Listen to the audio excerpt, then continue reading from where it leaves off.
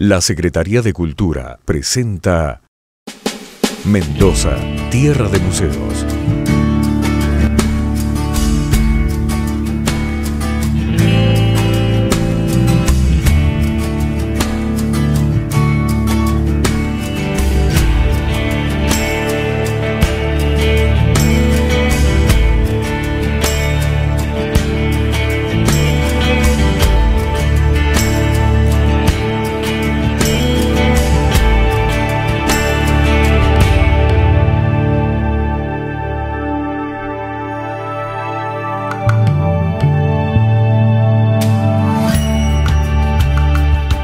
Bienvenidos.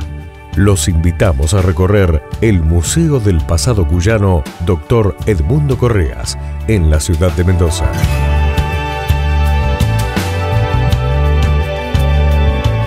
El museo se ubica en la quinta que perteneció a Francisco y Emilio Civit, dos destacados gobernadores de la provincia de Mendoza. Esta es la primera casa que se construyó en 1873 después del terremoto de 1861. En ella se alojaron personajes de la vida política del país como Julio Argentino Roca, Nicolás Avellaneda, Miguel Juárez Selman, Domingo Faustino Sarmiento, Bartolomé Mitre, entre otros destacados políticos argentinos. El Museo del Pasado Cuyano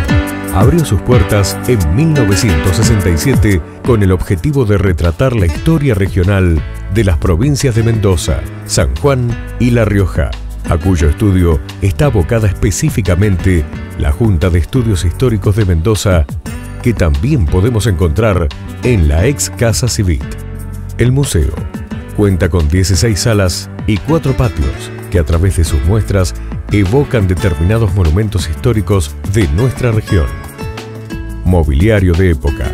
obras pictóricas,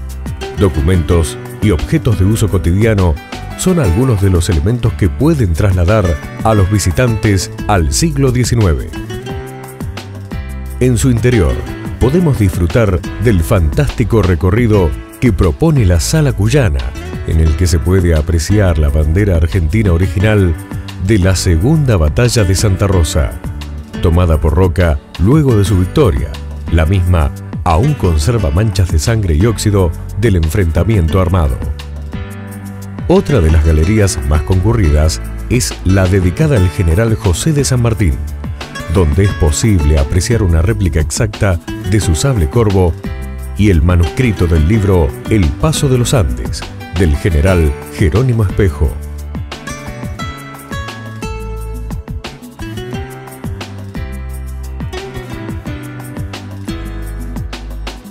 Para hablar un poco en profundidad del museo, nosotros nos remitimos a las salas que, lo conforman, incluyendo sobre todo salas de tipo religioso, salas de tipo de hogar cotidiano, de uso cotidiano, de vida cotidiana, salas militares, salas económicas, salas históricas y salas de personalidades destacadas o etapas destacadas que van a incluir personajes importantes de nuestra historia, tanto local como nacional y de relevancia internacional. Contamos eh, inicialmente con una sala religiosa, una sala religiosa en la cual se destacan aspectos religiosos, personalidades y objetos que van a tener que ver con la imaginería cuyana, con vírgenes y personalidades destacadas de la provincia de Mendoza, como el Monseñor Rafo de la Reta, Monseñor Aníbal Verdaguer, y un retablo altar del siglo XVI proveniente de la provincia de Cataluña, de España. También contamos con salas cuyanas, salas cuyanas que van a hacer referencia a lo que va a tener que ver con objetos y personalidades que van a,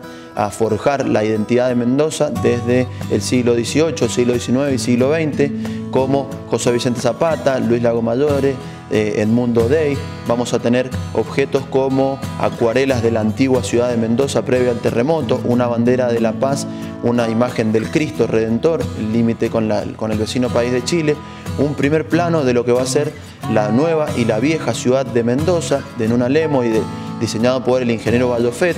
mobiliario de época que va a tener que ver con personalidades como eh, Luis Molina, Manuel Bermejo. El museo cuenta en orden militar, además de armas y cañones en general, con una sala de armas específicamente, donde se van a recuperar figuras y armamento de lo que fuera la época de la campaña en desierto, una sala que va a hacer referencia al periodo de unitarios y federales con pinturas y objetos dedicados a tal periodo, donde van a destacar personalidades del bando federal como eh, Juan Manuel de Rosas, Manuel Dorrego y Facundo Quiroga, y del bando unitario como el general Lamadrid, Lavalle o una figura relevante como lo va a ser Domingo Faustino Sarmiento. Tiene una sala de reliquias como va a ser la sala numismática en la cual nosotros vamos a encontrar una colección de medallas y monedas, en la cual también nosotros eh, podemos observar y tenemos la suerte y el privilegio de tener una colección de acuarelas del pintor eh, peruano Pancho Fierro, son eh, acuarelas románticas de la época de, la independencia, de las guerras de independencia de América, y también una sala que va a hacer referencia a lo que va a ser la historia de esta casa, como es la sala civil, que va a relacionarse tanto con la vida privada, el familiar de la familia, digamos, de Francisco y de Emilio, y también va a hacer referencia a la vida política, un poco más haciendo énfasis en lo que va a ser la figura de Emilio Civit, su paso por la cartera de obra pública de la Nación y su contacto con la personalidad más destacada de la época y su presidente, su, presidente de época que va a ser Julio Argentino Roca. Y finalmente el museo cuenta con una sala de, eh, abocada principalmente a la figura de San Martín, es la sala sanmartiniana. En él no solo se recupera la figura del general San Martín, sino también se va a recuperar eh, personalidades que van a tener que ver con su gesta sanmartiniana y van a destacar objetos militares, objetos de uso, de campaña, cuadros, pinturas y eh, mobiliario de época que va a tener que ver con la gesta libertadora. En el museo también podemos encontrar la Biblioteca Pedro Molina, que cuenta con más de 13.000 volúmenes y una valiosa hemeroteca con un destacado archivo de documentos de hechos y personalidades mendocinas. Gracias por acompañarnos a revivir nuestras raíces en el Museo del Pasado Cuyano, Dr. Edmundo Correas. Hasta nuestro próximo encuentro en Mendoza, Tierra de Museos.